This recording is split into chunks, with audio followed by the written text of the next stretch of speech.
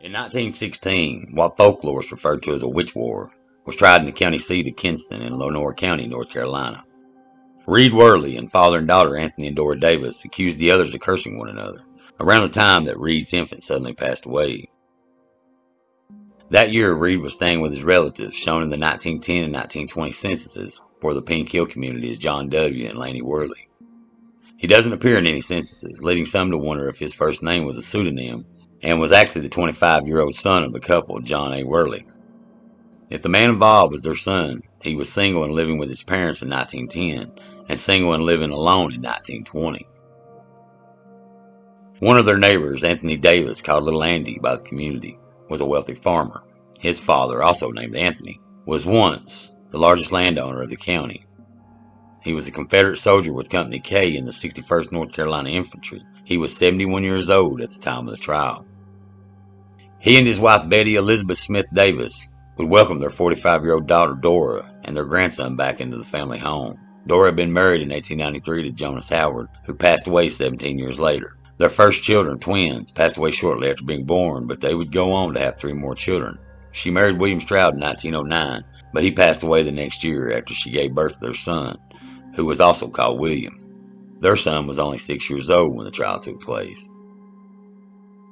When Reed's infant passed away that year, he blamed Dora for some reason. In court, she would recall how grief stricken and angry. He had come to their home and had threatened her, telling her that some of your people in less than three weeks is going to be dead and you'll never know how it come about.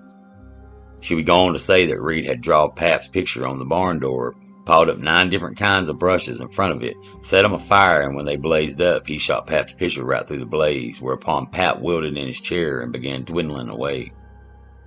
In William Henderson's 1866 book, Notes of the Folklore of the Northern Counties of England, he documents this Swedish sort of rite would have been used on Midsummer's Eve, the shortest night of the year, to have a suspected witch reveal themselves after casting a curse. Reed denied practicing any sort of witchcraft and said that the shot that she had probably heard was from when he had shot a screech owl. He didn't think anything of shooting the owl at the time, but immediately after, Dora's father, Anthony, had become partially paralyzed and his health had started declining to the point that he had to use a wheelchair. The implication was clear. Reed believed that Anthony had been able to transform himself into a screech owl and that when he had shot it, it had injured the old man.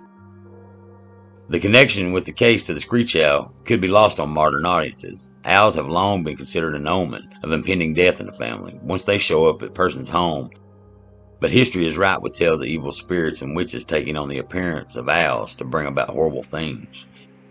In ancient Roman tales, this sort of spirit was called a strix, and in Jewish tales it was called a lilith. Both would appear as screech owls and bring about what is now called sudden infant death.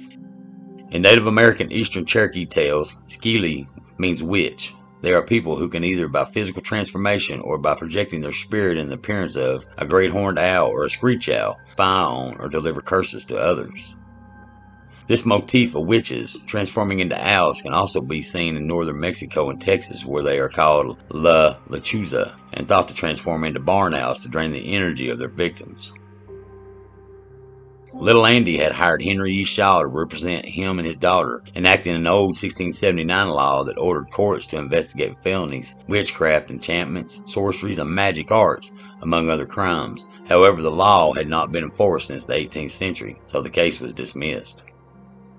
After the hearing, little Andy told his lawyer that he was doomed and Reed would start placing curses on him again. His health was already in steep decline, and he feared for his life and the life of his wife, daughter, and grandchild. To try to get through to his client, Henry was quoted as saying, Don't you realize that you are now utterly exempt from the influence of any witch, and especially this man? Don't you see he has come into this courthouse and denied the faith, laid his hand on the Holy Bible, and sworn that he has no such power, and don't you know that his power is now gone forever?